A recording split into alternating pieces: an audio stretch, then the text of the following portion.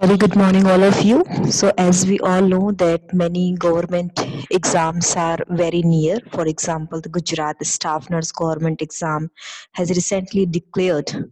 Okay, so from today onwards, we will every day practice some of the important MCQs that will help you to excel in the examination.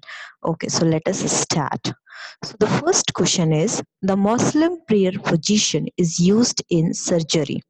So you can see the options laminectomy, laparoscopy, laryngectomy, and laparotomy. So Muslim prayer position is used in laminectomy. Next question. You can see the picture also, though it will not be given in the exam paper. So this gait is known as a short shuffling gait.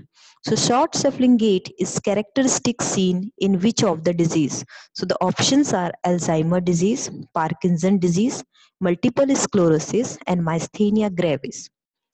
So the right answer is Parkinson's disease. Next is the vaccination is not contraindicated in high fever, infection, immunosuppressive, and diabetes.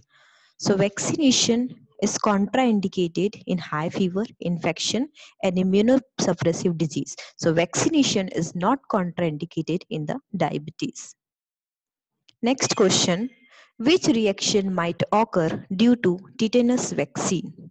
So, the options are febrile seizures, brachial neuritis, hypotonic muscles, and encephalopathy. So, the right answer is brachial neuritis, sometimes also known as a shoulder block. Next question WHO established in the year of the full form of WHO is World Health Organization and on every 7th April we celebrate the World Health Day. So it is established in which year? Options are 1920, 1948, 1954 and 1960. So please remember very important question. WHO established in the year of 1948. Next question. Leading cause of blindness in India. These all options are the cause of the blindness in India. But the question is, which is the leading cause? First option, cataract. B, trachoma. C, glaucoma. And D, vitamin A deficiency. So the right answer is the cataract. In India, the cataract is the leading cause of the blindness. Next question. Commonest side effect of copper T is, so as we all know, copper T is a contraceptive method. So the commonest side effect, the first option, pain, bleeding, vaginal discharge, and pelvic inflammation. The right answer is bleeding. Next question. Apgar score system has all of the following criteria except. Please read the question whenever the words such as except is used. It means what are used and which is not used that is asked. So Apgar score system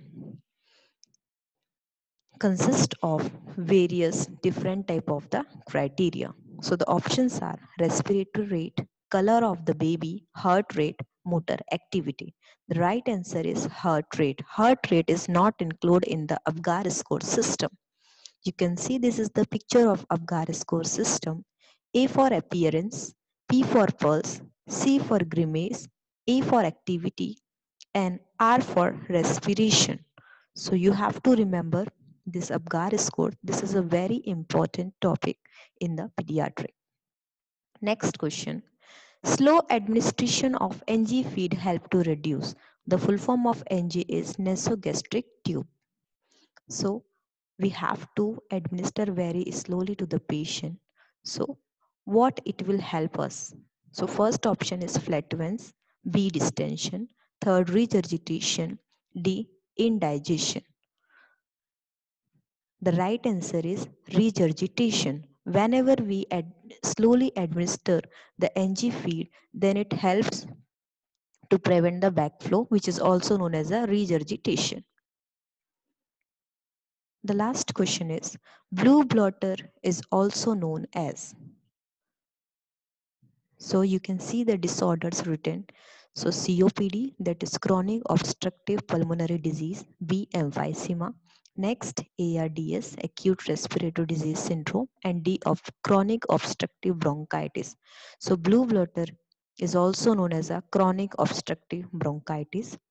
Blue bloater is a generalized term referring to a person who is blue and overweight and this usually present with shortness of breath and they have a chronic cough. So chronic obstructive bronchitis is also known as a blue bloater. So that's all for today. Please like, share and subscribe my channel and share it to your friends too. Thank you.